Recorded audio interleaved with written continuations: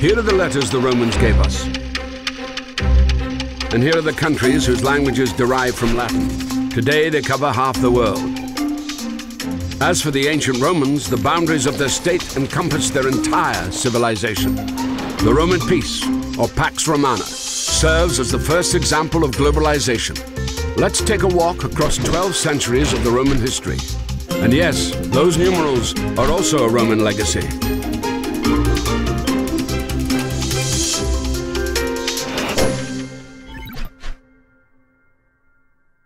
What is Rome? A city on seven hills, capital of Italy. But that is today. And 2,000 years ago, there it is. Another thousand years ago, there. A tiny tribal settlement of the Latins by the river Tiber. How did this manage to conquer the world? First, it was lucky with its neighbors. To the north, the Etruscans of modern Tuscany, a mysterious people whose language has never been fully deciphered. To the south, Greek colonies. These peoples all traded with each other. It was at the crossroads of their trade routes that Rome appeared.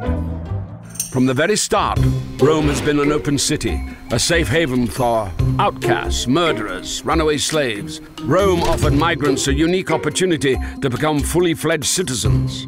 This will make Rome the largest metropolitan city of the ancient world.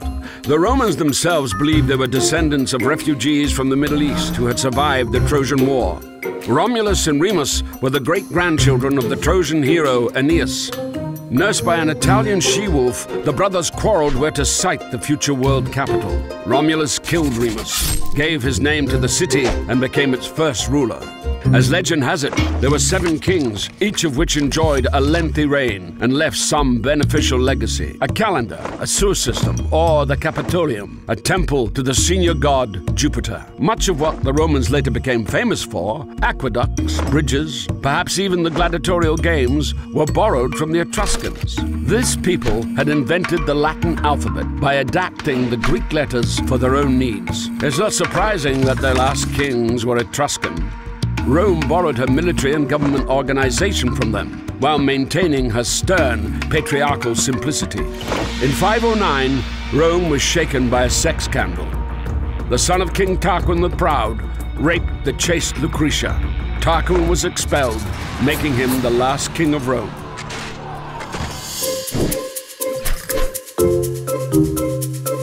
The Romans decided to prevent any such concentration of power ever again. From 509 onwards, they elected two consuls to serve a year apiece, instead of a monarch. The consuls were controlled by the Senate. This consisted of 300 fathers, patres in Latin, hence the term patricians. Those not so lucky to be born into the right families joined the plebs. Even if they were as rich as patricians, they were not entitled to take up positions in the state. It is in the 200 year struggle for these rights that the Republic, literally meaning public thing, will be formed. The plebeians would make up the backbone of the army, and to have their own way, they would threaten the fledgling state with emigration to a neighboring hill.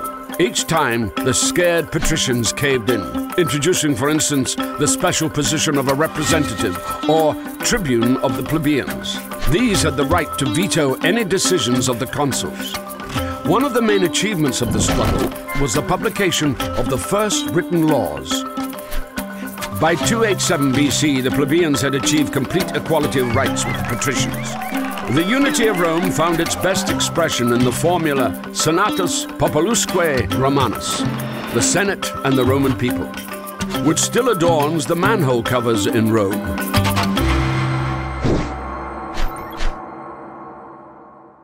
In 390 BC, the history of Rome could have come to an end. The city was unexpectedly taken by the Gauls. The guard dogs had sensed no danger, for which they would be crucified every year since.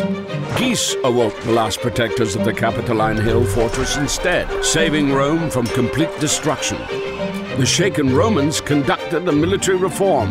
The Roman legion was divided into manipuli, making it more mobile in battle. The Roman army spent the next hundred years in constant wars.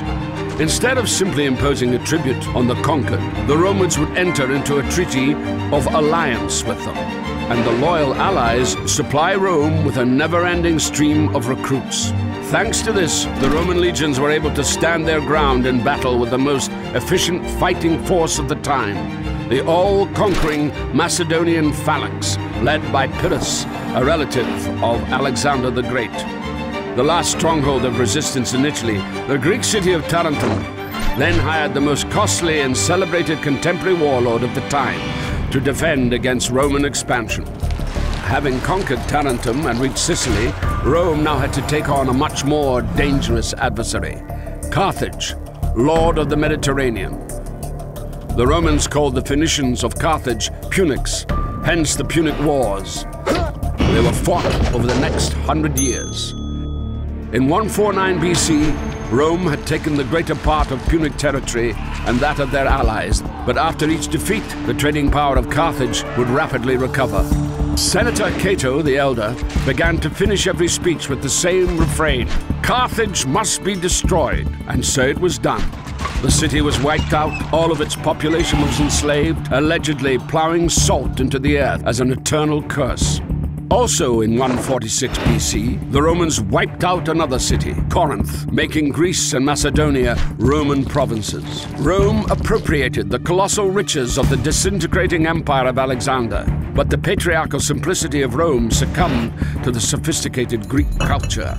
Greek became, in effect, a second state language. The Roman nobility busied itself learning new words, hexameter, history, rhetoric. Cicero, the most famed orator of Rome, would come to model his speeches on those of the Greek Demosthenes. However, across this immense territory, full rights were only afforded to the Romans themselves. Even other Italians, the majority of the military, had no citizenship rights. These would demand equality, declare war, and win the right to take part in managing the state.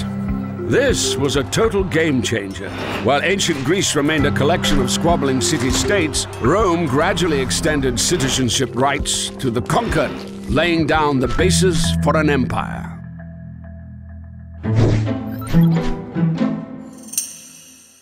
Having conquered half the world, Rome fell victim to globalization. Cheap grain and an inflow of unpaid slave labor bankrupted the small farmers.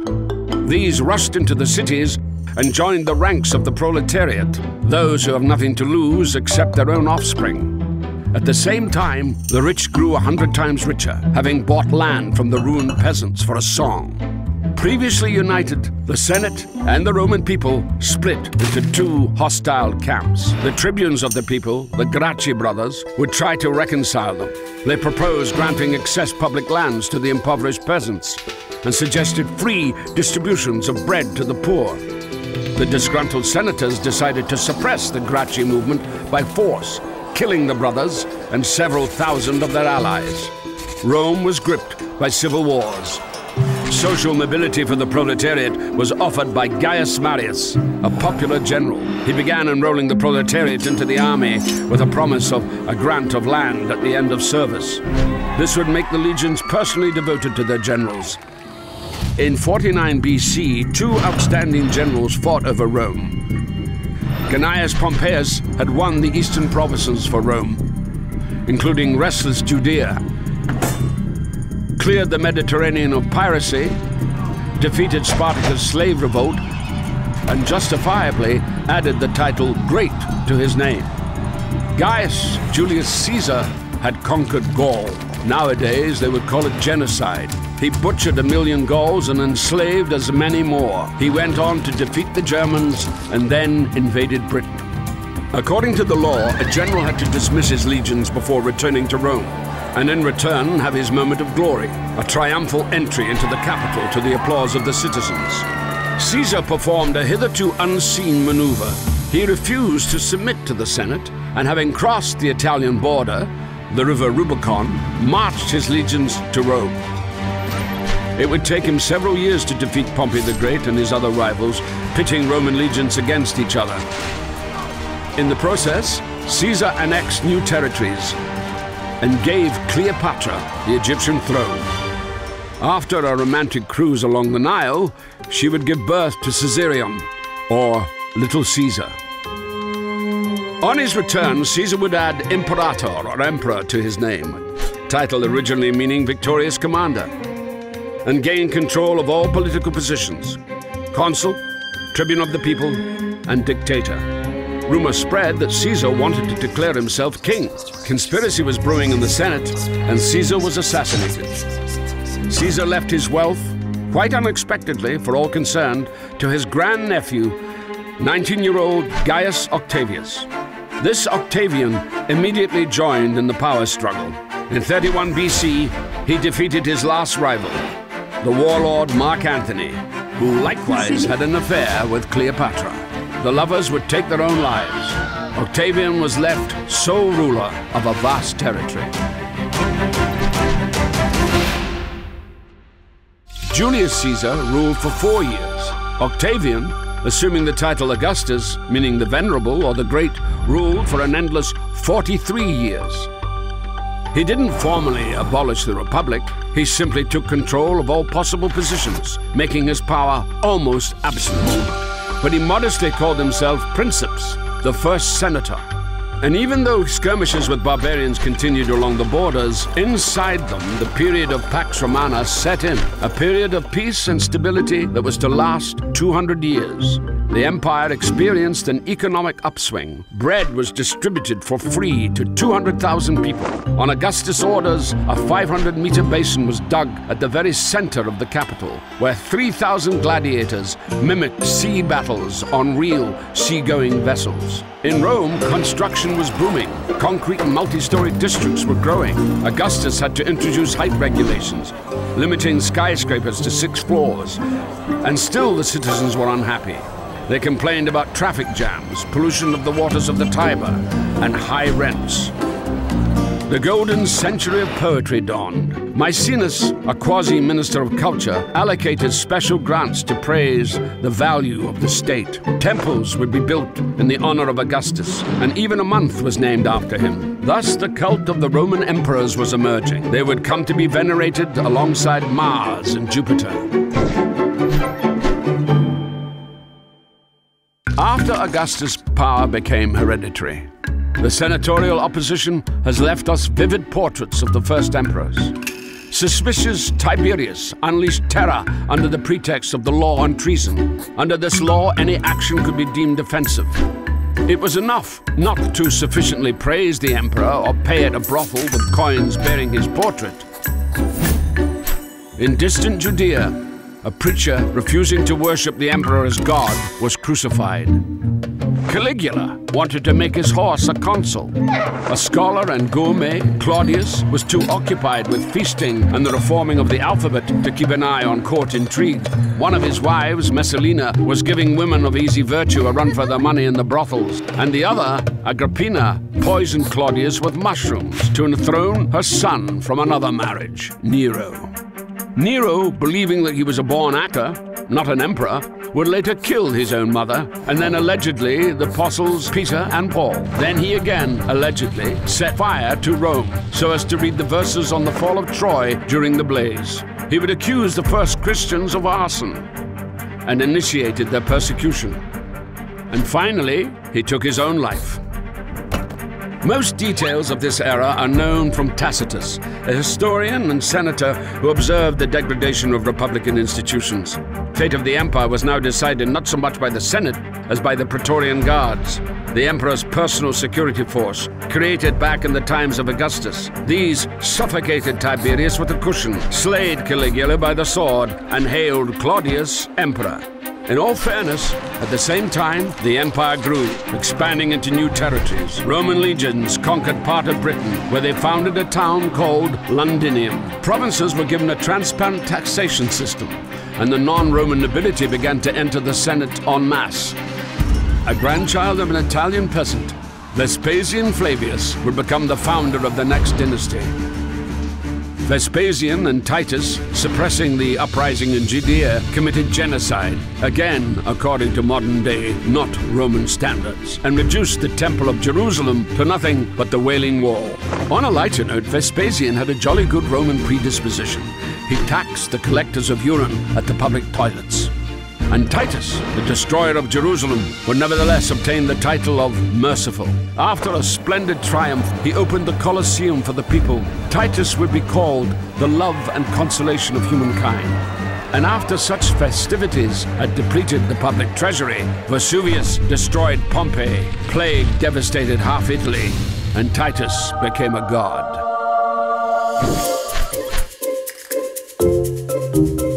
The second century would go down in history as the era of the good emperors. Trajan was considered by his contemporaries the best emperor ever. Rome became a million strong city, and the empire reached its largest extent. Rome connected on new territories via a network of paved roads. This system still determines the transport map of Europe.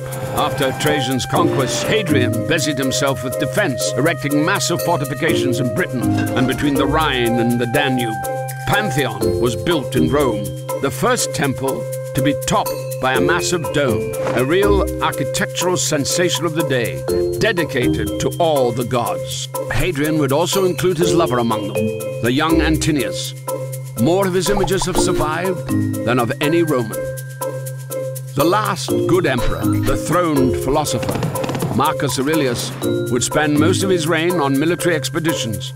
In between battles, he wrote his manifesto for Stoic philosophy, Meditations.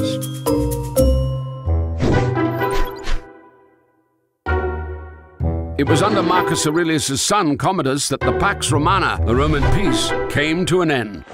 He preferred a gladiator's glory to the affairs of state.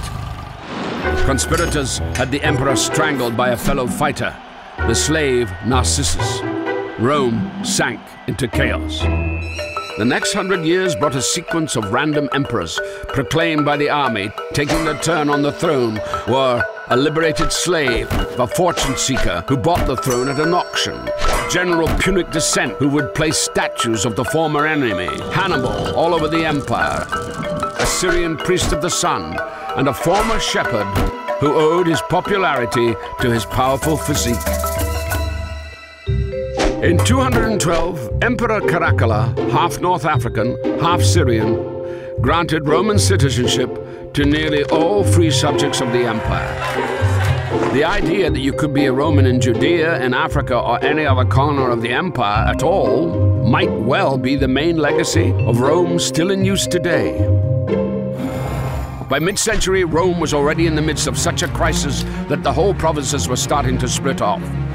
The Gauls, for instance, proclaimed an empire of their own.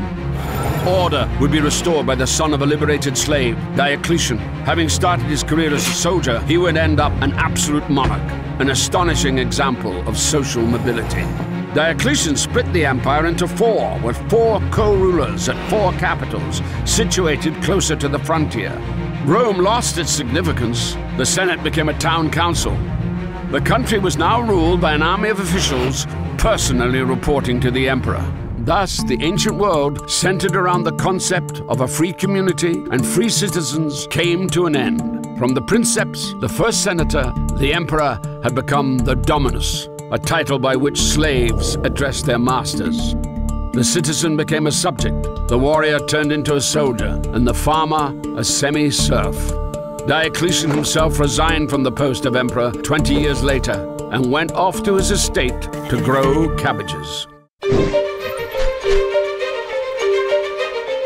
After Diocletian's departure, the co-rulers were fighting for power. Constantine, the future Saint Constantine the Great, emerging victorious. Before the crucial battle for Rome, he allegedly had a vision of a cross. After this, he made all religions equal. After 300 years of persecutions, the Christians came out of the catacombs and were now entitled to build churches alongside the temples of Augustus and Mars. Constantine would take the cross from Jerusalem to the new capital of the Roman Empire, Constantinople. Theodosius I would make Christianity the official religion and begin to destroy the ancient temples. He would also be the last emperor of a united Roman Empire. His sons split the empire into west and east. The eastern half would live another thousand years and is known to us as Byzantium. The western part would fall victim to the great migration of peoples. Rome, founded by migrants, would fall to the onslaught of a new wave of refugees. Ironically, the last ruler of Rome would be called Romulus.